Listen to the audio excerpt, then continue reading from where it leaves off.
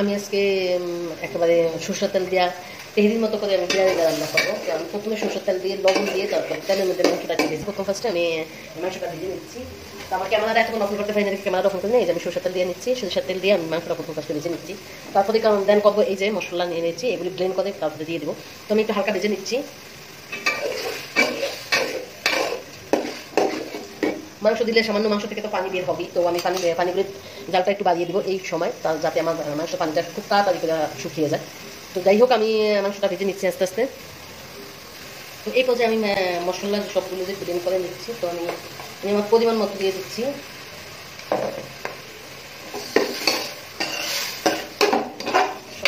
সব মশলাগুলো একসাথে করে মেখে নিব। মাংসটা অনেকগুলো করে ভাজা হয়ে গেছে। এখানে আমার ফ্রিজে টক দধি ছিল তো আমি এখান থেকে দধিও দিয়ে দেবো। আমার আজকে রান্নাটা সম্পূর্ণভাবে ঘরানা রান্না। দিয়ে দিচ্ছি সাথে দধি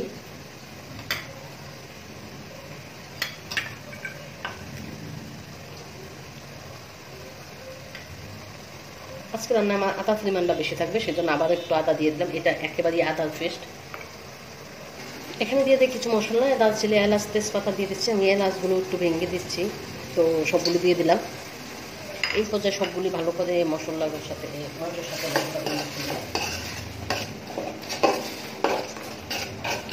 আমি যেহেতু বিরিয়ানি রান্না করব, সেক্ষেত্রে আমার হলুদ লাগাবো না। আমি এই পর্যায়ে কিছু মরিচ দিব। দেন মাংস সিদ্ধ হওয়ার জন্য আমরা অপেক্ষা করব। আমি আজকে মরিচটা কীভাবে দিব, আমার রান্নার সাথেই থাকুন, তাহলে দেখতে পারবেন আমি মরিচ কীভাবে দিচ্ছি, লাল মরিচ দিব।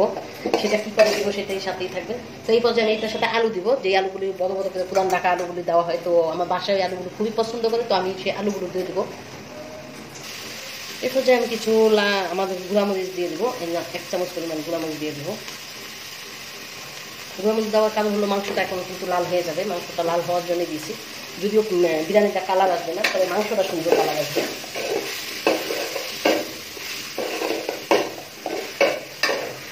মশলা দিয়ে ভালো করে একটু কষিয়ে নিই। মাংসটা একেবারেই ভাজা ভাজা হয়ে গেছে। এই পর্যায়ে মাংসের সাথে পানি দিয়ে দেবো। মাংসটা খুঁজে আবার ভালো লাগবে না মাংসটা একেবারে ভাজা ভাজা হয়ে গেছে। এই পর্যায়ে একটু পানি দিয়ে দেবো।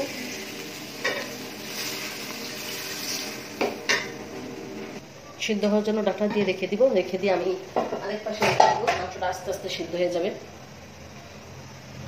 তো প্রথমে আমি কলাই দিয়ে দিচ্ছি, তারপর আমি আমি এইটাও সরষের তেল দিয়ে বাজবো আমার আজকে রান্নাটা সম্পূর্ণ সরষের তেলে থাকবে। তো সরষের তেল দিয়ে দিলাম। তেল দিয়ে দিলাম।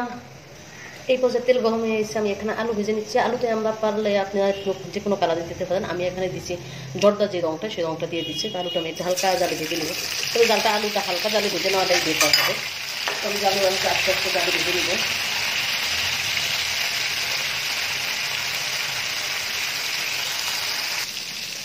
এটা আমরা উল্টে দিচ্ছি। আর এটা কালারটা, সেই একটা কালার আসছে এই তেলটার সাথে আমি একটা ব্রেস্টটা তৈরি করব। তেলের ভিতরে যে লাল কালারটা থাকে, এটা দিতে ব্রেস্টটা তৈরি করলে কিন্তু অনেক সুন্দর একটা ব্রেস্টটা হয়। এটা সবসময় মনে রাখবেন। আর যারা জানেন তারা তো জানেনি আর যারা নতুন, তারা কিন্তু সবসময় জেনে রাখবেন আলু যে কালার ফুট দিয়ে আপনারা আলুটা ভাজবেন সেটার পরে যে ব্রেস্তাটা তৈরি করবেন, সেটা কিন্তু অনেক সুন্দর একটা ব্রেস্তা হয় আলুগুলো ভাজা হয়ে গেছে এবং আলুগুলো উঠিয়ে ফেলব, একটা প্লেটে উঠিয়ে ফেলব। সুন্দর একটা ভাজা হয়ে গেছে। ভিতরটাও একবারে আলুটা সিদ্ধ হয়ে গেছে। তো সেইভাবেই আস্তে আস্তে ভাবছি যে ভিতরটাও সিদ্ধ হয়ে যায়। এই আলুটা যদি একেবারে মশ মশা মশ মশা একটা ভাজাও হয়েছে, সিক্সের মতো, এই আলুটা যদি রান্নার ভিতর দেন, আলাদা একটা খেতে আলাদা একটা টেস্ট আসে। তো সুন্দর কালারে এসে পড়ছে এখন যেটা করব ওই তেলের ভিতরে আমি এই পেঁয়াজের পেরেস্তা তৈরি করব। পেস্টটি ভেজে নেব ভালো করে।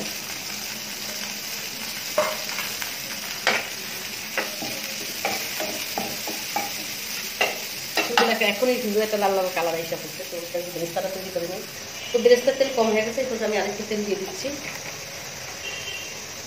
তো আমার বেরেস্তা হয়ে গেছে, এরপর বেরেস্তাটা আমি উঠিয়ে ফেলব। বেরেস্তাটা একেবারেই হয়ে গেছে, একটু কলা হয়েছে, তারপরে কিচ্ছু হবে না, চলবে। আমি বেস্তা ভাজার পর যে পেঁয়াজটা তেলটা ছিল, তেলের ভিতরে আমি চালগুলি ভালো করে ভেজে নিব। এটা কিন্তু যেহেতু সরষের তেল ছিল, তো ওই তেলটার ভিতরে আমি চালটা ভেজে নিব ভালো করে। চালটাকে ভেজে নিচ্ছি। চালটা একেবারে ভাজা হয়ে গেছে চালটা ভাজা কিন্তু সুন্দর একটা চাল ভাজা চালটা এখন ভাজতেছে। তো এই মুহূর্তে নামিয়ে আমি এই যেটা করব সেটা হলো যে মাংসটা দিয়ে দিব, মাংসটা দিয়ে মাংসটা দিয়ে দিচ্ছি। বাংলা দেন মাংসের ভিতরে চালটা দিয়ে দিলাম। ভাজা হওয়াতে চাল কিন্তু কয়েকবারই আমাদের কড়াইতে কোনো একটা চালও নেই। ভাজা হওয়াতে সব পূর্ণ করে গেছে এখন এগুলির সাথে ভালো করে ভেজে নেব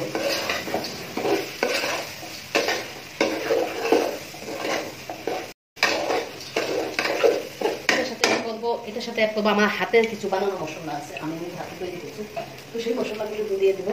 এখানে আমার নিজ হাতে তৈরি করা মশলা আছে, তো এখানে আমি দুই চামচ নিজ হাতে তৈরি মশলা দিয়ে দেবো। এটা জিরে দিয়ে সব মশলা তৈরি করে নিচ্ছি। নিজ হাতে তৈরি তো সব মশলা দিয়ে নেড়ে চেড়ে নিচ্ছি। এরপর পর্যায়ে পরিমাণ মতো পানি দিয়ে দিব। পানি দিয়ে দিচ্ছি।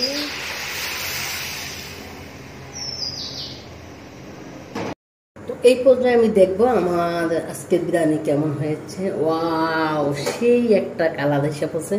ব্রেস্তা আমি দিয়ে মানে ব্রেস্তা ব্লক আসার পরে ব্রেস্তা দেওয়াতে আমার কালারটা একেবারে সুন্দর হয়েছে। আমার বিরিয়ানি কালারটা সেই একটা কালার হয়েছে। ঝরঝরাও অনেক সুন্দর একটা ঝরঝরা হয়েছে।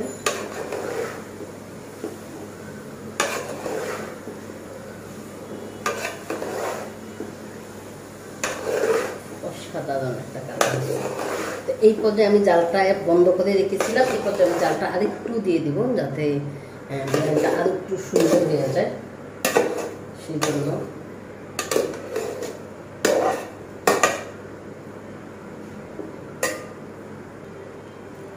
এই পর্যায়ে আমি আরেকটু ঢাকনা দিয়ে দিকে, তারপর জালটা একেবারে বিরিয়ানিটা রেখে দিব। এখন এই হালকা আছে বিরিয়ানি রাখার পরে বিরিয়ানিটা আমার অনেক সুন্দর মজা হবে। তো আমরা আরও কিছুক্ষণের জন্য অপেক্ষা করি। তো তৈরি হয়ে গেল আমার আজকের বিরিয়ানি। তো আমি এই সিটি থেকে আস্তে আস্তে বিরিয়ানিটা একটু বেরিয়ে নিব। আমার ছেলের জন্য নিচ্ছি।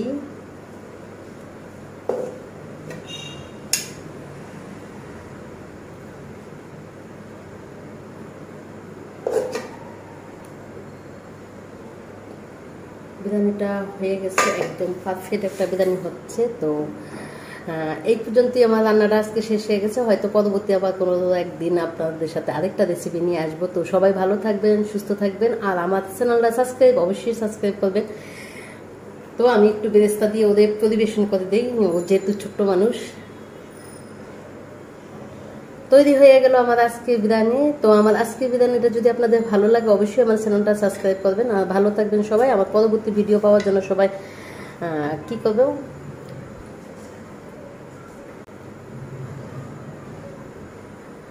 তো সবাই ভালো থাকবেন, সুস্থ থাকবেন। আল্লাহ হাফেজ।